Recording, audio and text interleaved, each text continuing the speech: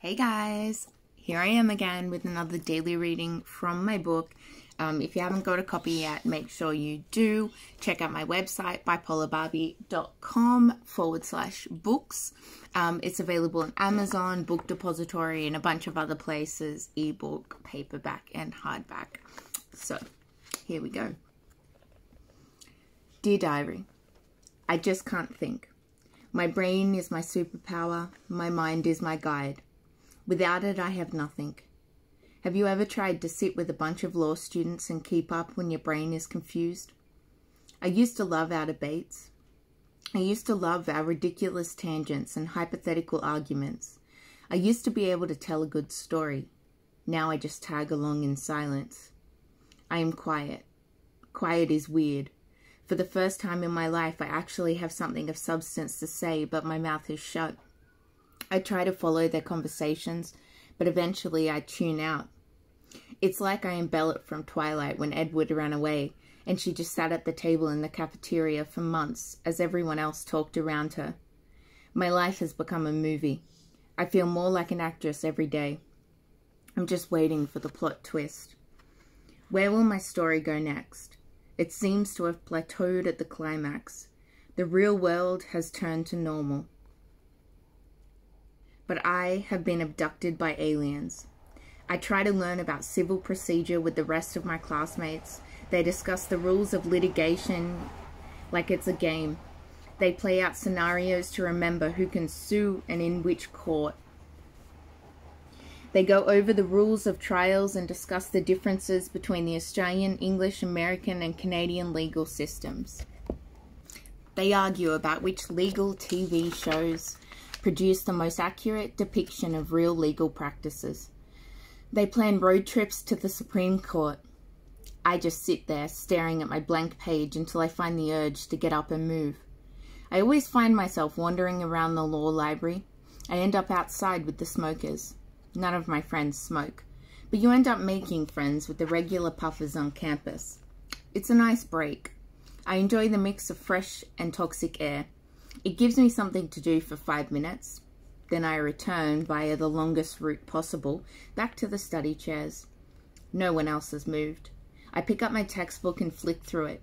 I grab my papers and shuffle them around. I sigh and flick them to the side. Then I tap my pen against note notepad until someone asks me to stop.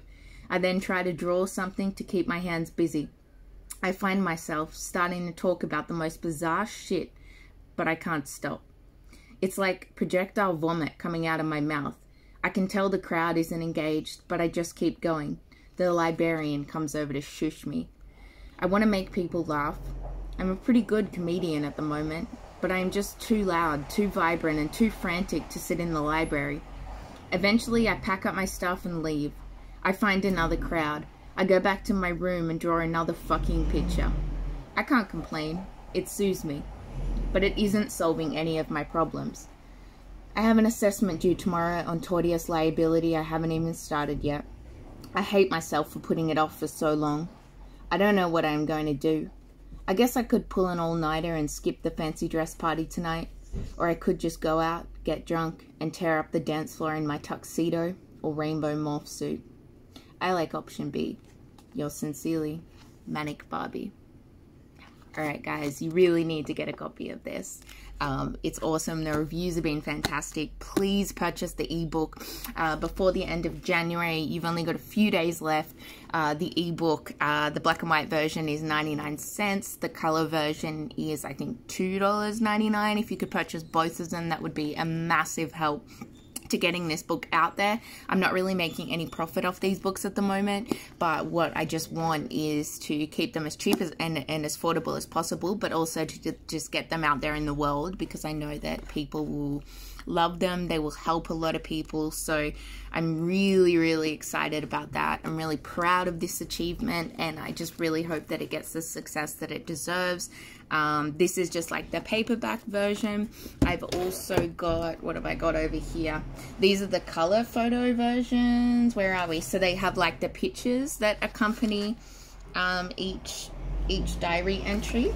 So I definitely recommend um, checking them out these are like my my favorite ones the picture versions i think they definitely make it so they're definitely worth investing in the the premium photo editions um, these are just the paperbacks so far because they're printed in Australia. The hardcovers are printed in the States, which means they're taking a little bit longer to get to me.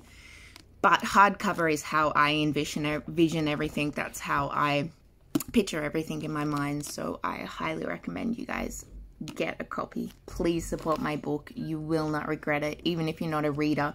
I think that these are really great because you will, uh, you know, they're just a bunch of series of like short stories um, which are like, you know, a couple of pages to maybe like, you know, six or so pages each story. So it's great reading. Um, it's great coffee table kind of book, great conversation starter, a great gift to give to your friends and family. So I really highly recommend getting a copy.